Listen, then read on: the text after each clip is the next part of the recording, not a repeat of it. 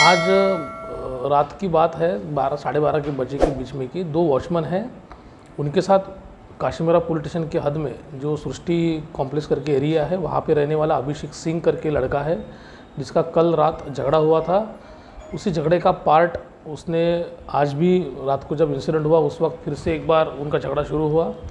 CCTV footage में clear हमको दिखता है, जिसमें लड़का जा रहा है और उसे दोनों वॉचमैन उसके साथ बात कर रहे हैं और आ, किसी हथियार से उसको मार रहे हैं। अभी दोनों वॉचमैन फरार है उनको हम लोग ढूंढ रहे हैं।